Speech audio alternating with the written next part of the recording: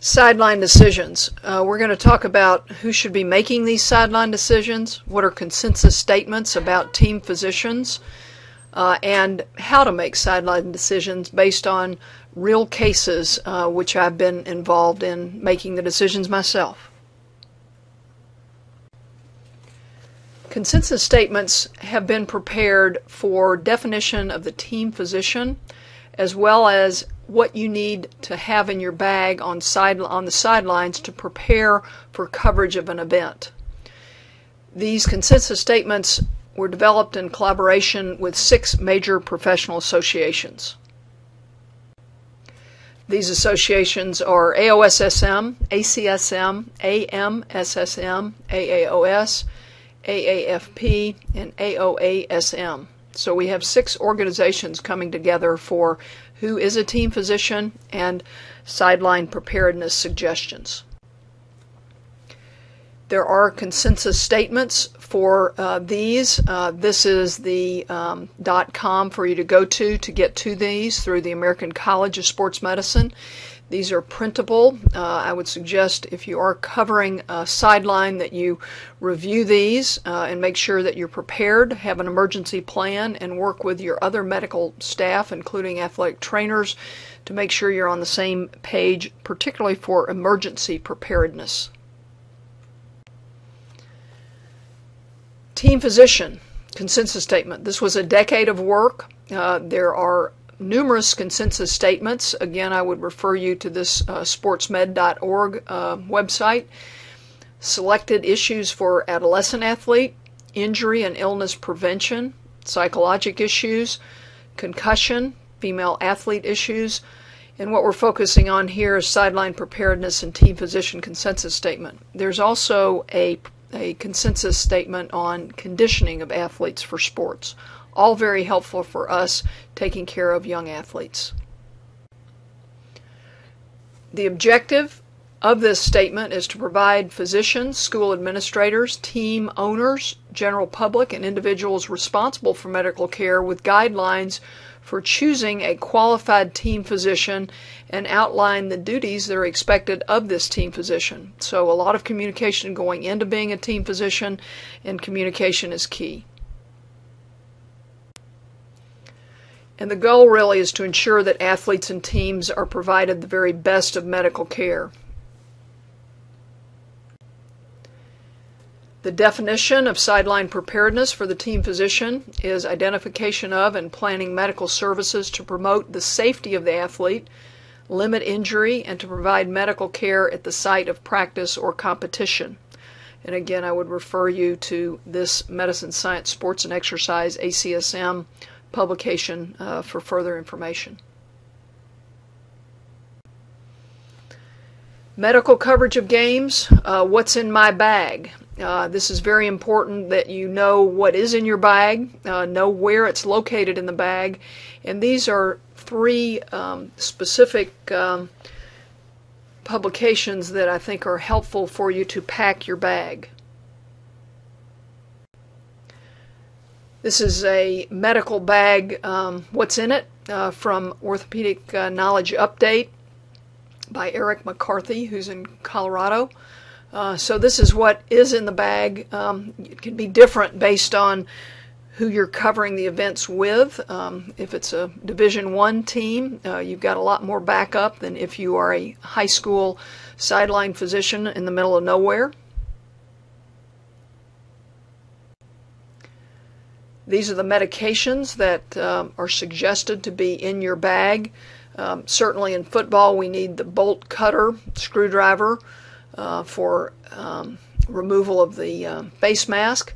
Uh, the cardiac monitor defibrillator typically are available uh, through the EMS or the schools that we cover. This wouldn't be uh, in your bag, certainly, but it would be a locker room sideline equipment uh, ability to brace the neck or legs, um, and uh, IV solutions would usually more be in the EMS uh, uh, ambulance.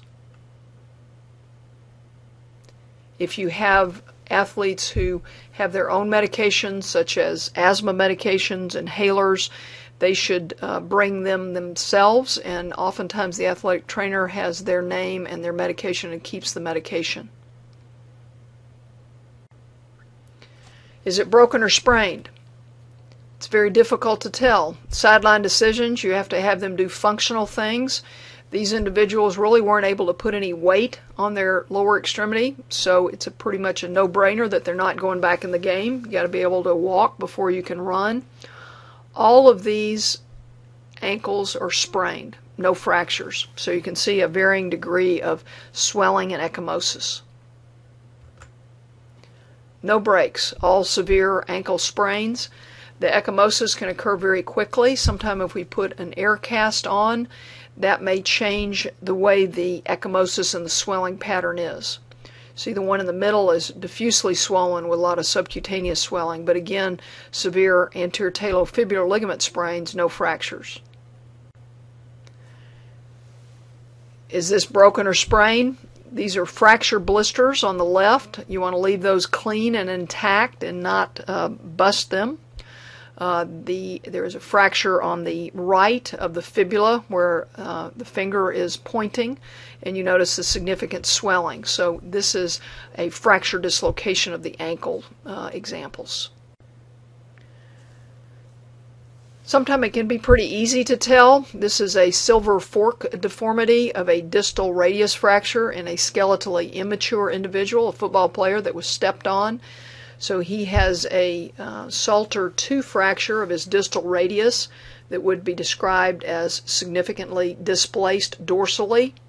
Uh, we have different protocols for um, sedation, IV sedation. In this situation, this was a long time ago, I did a hematoma block and did a reduction. This is something that you want to do this under sterile environment, and if you are using sedation, have a protocol at the hospital and not do this on the sidelines. On the sideline, we would splint it as it lies with some type of, it can be cardboard. Uh, a lot of the prefab splints are out there now, and you just loosely wrap that on and put like a sugar tong on the volar and dorsal aspect of the forearm. Displace fractures, splint them as they lie. You can apply axial traction as your assistant is putting on the splint. There's no harm with gentle axial traction. You can see this is a both bone forearm fracture of the distal um, aspect with significant displacement. Didn't go through the growth plate.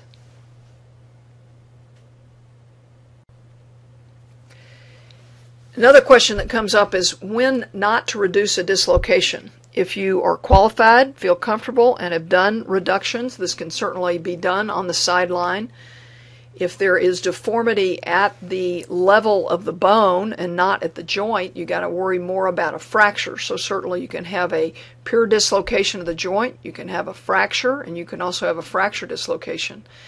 When I get concerned about reducing a dislocation, if it's open, such as a fracture about the hand and you've got grass in the open wound, you reduce it, then that contaminates the joint.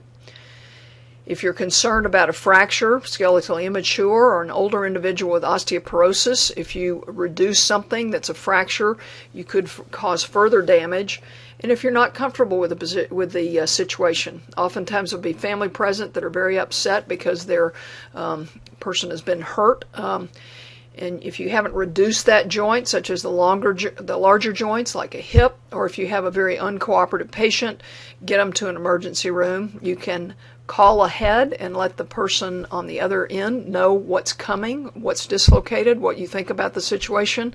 Particularly in a knee injury, if you have a knee dislocation, you have to inform them that the knee was actually dislocated and the exam was significantly unstable. And in that situation, um, a vascular consult is necessary and workup for possible uh, arterial injury or venous injury is necessary. What about in the hand? Uh, proximal interphalangeal joint dislocations. A dorsal dislocation is shown on the left uh, clinically, and then the upper right x ray. Usually these are reduced before we get x rays. Um, again, axial traction. Sometimes it's nice to put a glove on so that they can be reduced easily. Dorsal direction is more common. Do the reduction with axial traction. Sometimes this is done by the uh, another player, rarely the coach or athletic trainer or the physician. And on the lower right is a volar dislocation. It is important to get X-rays after the dislocation to see if there is any injury to the proximal phalanx. Uh, sometimes it's hard to get them in for x-rays, but this is important. And you also want to follow them for uh, range of motion. Uh, they can return to the game with buddy taping, um, but sometimes they will develop a boutonniere deformity, and this is an important um, injury to treat acutely with splinting and uh, making sure that they get their extension range of motion back. There are some dislocations that cannot be reduced. Um, this is a volar dislocation of the metacarpal, and the metacarpal head buttonholes through the volar structures. And the harder that we pull on this index finger, the more the finger trap causes the reduction to not be successful.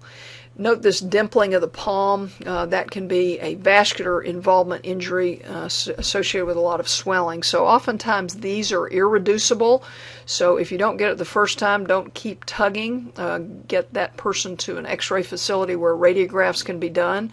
And oftentimes this particular dislocation needs to be done open the structures that uh, cause the finger trap, you can see in the lower left where the metacarpal head is volar in location, and it's the natatory ligament, volar plate, uh, going across, superficial transverse ligament, more proximal, and the lumbricals and flexor tendons that cause that Chinese finger trap and cause it to be irreducible.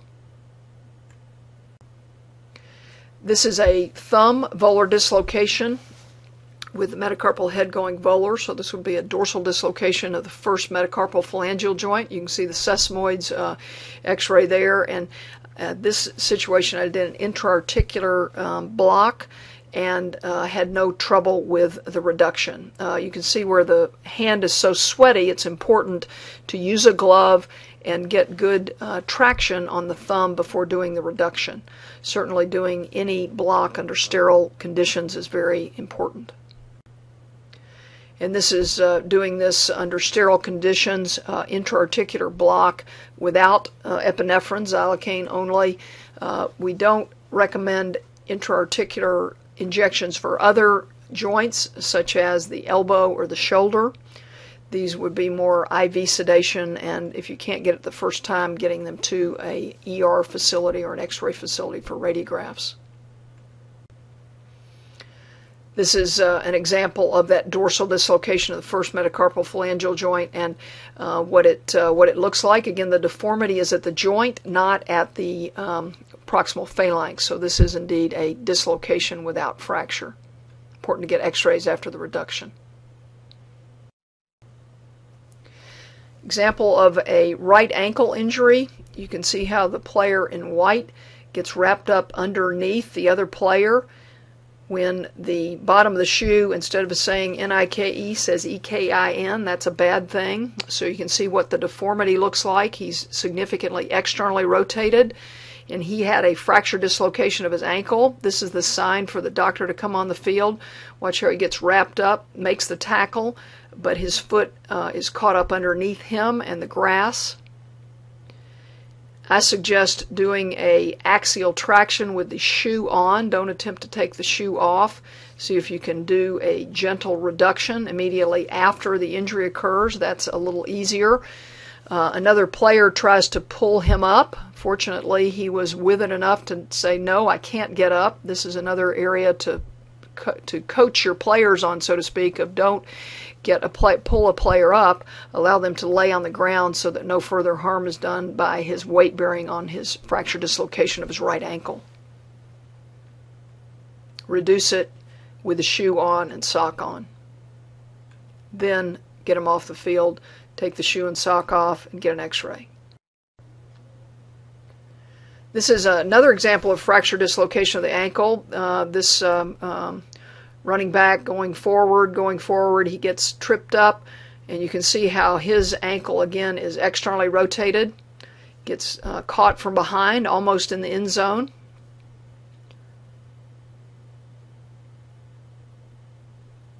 Pulled down from the behind, uh, face mask, I think. Um, so he has a fracture dislocation of his ankle.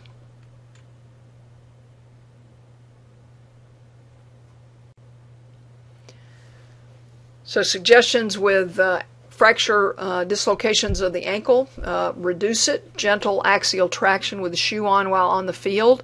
Um, have a plan to get the injured player off the field, um, whether it's with with other players that are tall enough, um, or a um, uh, rolling uh, gurney, or some type of a uh, seated um, device. Uh, X-ray them and immobilize them. This is a uh, left uh, foot subtalar dislocation. Uh, this uh, running back will take the handoff, and again he gets tripped up. Uh, watch as he goes down. It's his uh, left um, ankle that he's grabbing. He does get up on his own volition, starts jumping around.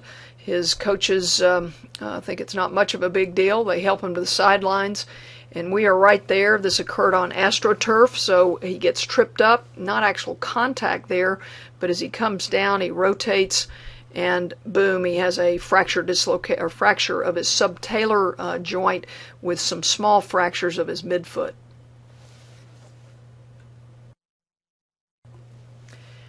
We've got him on the sidelines. Uh, we're taking his sock off. Uh, you notice that uh, we're applying a little um, posterior pressure and you can see where this looks like something is not in the right place. So this is a lateral subtalar dislocation. Uh, we get him inside, uh, talk to him, tell him what we're going to do. So this literally is only about five minutes from the initial exam on the sideline. See how much swelling he has. So you always want to do a neurocirculatory status check, uh, check pulses, check sensation. Posterior tibial artery, vein, and nerve could be injured. Taking his pads off. And you notice I'm putting uh, gloves on. Uh, I'm not giving him any medication. I'm talking to him and telling him what I'm going to do. Have somebody put traction go in the opposite direction, and then clunk goes into place. So in this situation, I felt it was better to go ahead and get him reduced and then get some x rays. Very easy reduction applying axial traction. And again, you notice from the initial time taking his sock off, just a five minutes later, later in the lower right hand, how much swelling there is. So if you do have an athlete that's many hours away from an x-ray facility, if you have someone qualified, a closed reduction will result in a better result, less likelihood of nerve injury. This includes a knee dislocation. Don't leave a knee dislocation unreduced. If you can get a qualified person to reduce it immediately, there's less chance of injury to uh, nerves, arteries, and veins. As I mentioned, put gloves on, axial traction, have somebody pulling the opposite way, tell the athlete what you're going to do, and oftentimes, acutely right after an injury, they don't need IV sedation. They cross over on that back stretch, only one and a quarter times around in the men's 500 meter. That is the final turn, and they are. And Yost goes down. Oh, and he, and takes he wipes, out, he wipes out the skater. Yost went down was hit and may be caught as he is hanging on to that left elbow.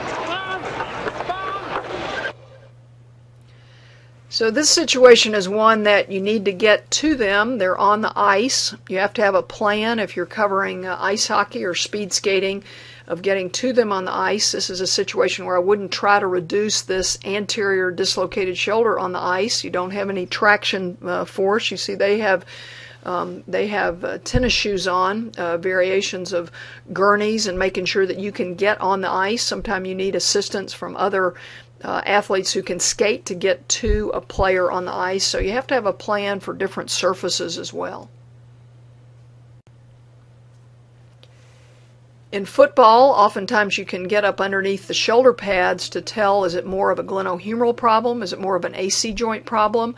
This individual had had an anterior uh, recurrent subluxation of his right shoulder. We already had a harness on him, And you can see how you can get up underneath the pads. Athletes don't like to take their pads off because then they know they're finished for the game. So if you can at least give them an initial exam, so I'm rocking him forward, anterior, and then posterior, and we did take his pads off to do a full exam. So you do need to get to the joint, but you can start off pushing on to see if it's more of an AC joint or glenohumeral uh, joint problem.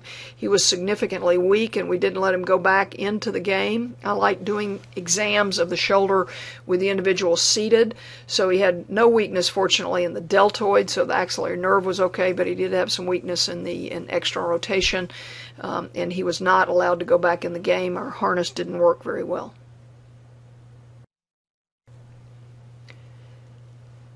What's the best way to reduce an anterior dislocation? I like the Hippocratic method of putting my foot on their chest wall, not on their axilla. You don't want to injure the uh, axillary um, neurovascular uh, structures. Apply traction downwards, lean into them. Uh, you need to have a bench, uh, or you can also do it on the ground. So you need a wide enough table or a bench to be able to reduce them. And again, I've got gloves on, apply axial traction, and oftentimes it will go into place. There are other ways to do shoulder reductions. Get used to doing it the way that works in your hands um, and practice on each other. This is a way to do it uh, prone. Uh, sometimes people with recurrent shoulder dislocations will hang hang weights on their wrist, and it will pop back into place with that uh, traction. So you can do this uh, applying axial traction, and the table basically is your counter traction. This is an example in Rockwood and Green's um, uh, older textbooks of the Stimson technique with a closed weight, uh, and usually the uh, shoulder will gradually go back into place. There is a dislocation method where the athlete reduces it themselves, um, and this is shown here where they're rocking back on their knee and pulling uh, forward, so he's leaning back, and this applies um, the forces to relocate the shoulder. And this has been successful in some individuals when they can do it to themselves, so to speak. The hardest dislocation to get back in is the first one, and sometimes the athlete can then self reduce themselves, and they may only be subluxing as opposed to truly dislocating. Elbows can look pretty ugly. Uh, this is a elbow dislocation. Typically, these uh, reduce themselves. We don't see a lot that are still uh, not reduced when they get into the emergency room, but you can imagine the neurovascular potential problems uh, with the brachial artery, ulnar nerve, median nerve. Um, and certainly these uh, individuals cannot go back and uh, wrestle, so it's a uh, land on an extended elbow with a dislocation of the uh, elbow. You want to make sure, particularly in the skeletal immature, that there's not a medial epicondyle fracture that's displaced in the this is another example, professional uh, football. Um, stiff arms him, goes down on the turf, and has a uh, dislocation of his elbow. Important to do a good neurocirculatory check, uh, make sure there's no uh, injury to the brachial artery, check their radial pulses, do an Allen test on them, and check them neurologically.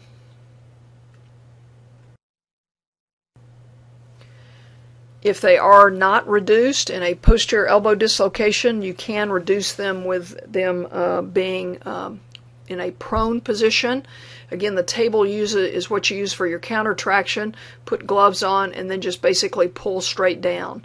Uh, and this has been successful, and you can extend the arm as you're doing this and pull straight down. So you will lever the hinge back into uh, place. Gloves do help. A considerable amount of force is required for reducing an elbow dislocation. It is nice to get x-rays before to know if you're dealing with any type of a fracture uh, dislocation. This is a 14 year old football athlete. He was a center. Uh, he was pushing up to get uh, up off the ground after a play, and another player landed on the back of his humerus. So you can see where we're putting our thumb in his olecranon fossa. He has a posterior dislocation of his elbow. Um, a lot of. Uh, and this is what his x-rays look like. So you can see in the lower right hand uh, posterior dislocation of his elbow. It's a little hard to see where that medial epicondyle is, but the medial epicondyle, as you can see on the AP view on the left, you can't really see it on the oblique view and the other view.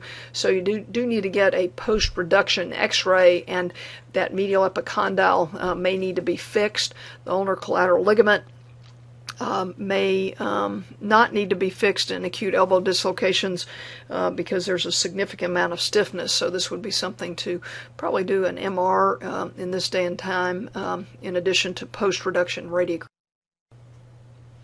This is a 14 year old who um, had attempted reductions of her elbow dislocation multiple attempts at the gym by her father and coach, who were two different people, outlying emergency room. They kept pulling and pulling. You can see that little red dot indicates that there is vascular injury. She had a brachial artery um, thrombosis, uh, which required revascularization. So, if you have an elbow dislocation, I feel it's better to get them to an ER facility that knows how to do a reduction uh, as opposed to those in outlying areas that are not comfortable, don't have somebody trained to do this uh, on site. This is what her elbow dislocation looked like. Her uh, x rays show her to be skeletally mature. This is uh, an example of um, a very harrowing, worst experience on a sideline. Uh, reinforces that you really do need a plan for an emergency uh, team. Um, this is Chucky Mullins, who played for Ole Miss. Um, you can see his um, neck pretty much disappears, and if you look at his left arm, he already has uh, a significant neurologic event where he's an immediate quadriplegic. He had immediate paralysis. Um, he had a multiple level cervical spine fracture dislocation. Uh, he was uh, treated um, very properly and emergently on the field. Um, they uh, kept him breathing. Um, they put him on a spine board um, and got him to um, the local facility, uh, and then he was treated uh, in Memphis at a larger uh, facility, a uh, center for spine trauma. Um, unfortunately, he died four years later. But you need to have an emergency plan. Um, need to talk to the EMS folks. Um, usually, we try to keep a helmet on and remove the face guard so that we don't cause further injury to somebody that's neurologically intact by taking their uh, helmet and shoulder pads off. So you need to have an emergency plan before this happens. Return to play after a fracture or dislocation, it should be teamwork. It shouldn't be a tug of war. Um, you're there to, to protect the athlete, uh, and you're the one that should be making the decision about returning them to the field. Uh, the athletic trainers are very, very helpful in making this decision as well. They make a lot of these decisions at practice and at games, but if it's a significant injury, then uh, usually the physician is involved to make that call um, at a competition or a game. You need to communicate with the coach to know that you're there to protect the athlete. He's coaching the game. You should be making the calls on the medical decision of return to play. It's a two way street. The players should be educated on when to let us know if there's a problem, such as a burner or a brachial plexus stretch that's a not a central cervical spine problem, but more of a stretch. If they have a burner um, syndrome or a brachial plexus stretch, um, they need to let us know because they can have further injury to other structures, like dislocate their shoulder if they don't have strength. Um, we should inform the players what to do and what not to do. Don't pull up an injured player that's lying on the field and protect the injured athlete from harm at all costs. There is a code of medical ethics, ethical issue and patients' rights, and, a, and these codes are updated all the time. In this code, physicians should assist athletes to make informed decision about their participation in sports which entail risk of bodily injury this can be in a collision uh, sport such as football, that's like playing in traffic. Uh, injuries are to be expected. Um, but also, we need to inform them of risk if they're not prepared um, with agilities, um, with conditioning, uh, such as uh, from heat illness, and also injuries to knees if they they haven't done the prehab, done the uh, strengthening and conditioning in the preseason. There is risk for bodily injury to the anterior cruciate ligament. And physicians must protect the health and safety of contestants and judge removal for the event by medical consideration. We need to treat patient student athletes as you would want to be treated. And if you make a decision where you can't sleep at night because you sent a youngster back in, you got to question if you made the right decision. We don't want to get lucky sending individuals back in the sideline. We want to do the right thing always for the student athlete. Uh, negligence. Definition of negligence, uh, which uh, doctors get sued for, but it's a conduct of a person that falls below the hypothetical standard of care established by law and that's the standard of care. It's a breach of duty that the law has recognized. Breach of duty is the proximate cause of the resulting injury, and action to be considered negligent is injury that results from breach of duty. So we need to understand these definitions of negligence, and what we're uh, potentially suable for on the sideline is being negligent and letting an individual go back in the game, perhaps not even examining them. So make sure you examine them and know what the situa- situation is before letting an athlete go back in the game. I refer you to that reference of the athletic training in sports medicine. Who's driving the sideline decision train? I think it should be the docs. Uh, sometimes the docs are at the end of the train. I show here where the trainers sometimes get pushed to being in the caboose, which is not a good position. What we don't want to do is have the young athletes driving this train, or the coaches, or the parents. So the medical staff, the physicians and athletic trainers need to be driving the sideline decision train on acute injuries and also return to play after surgeries are done.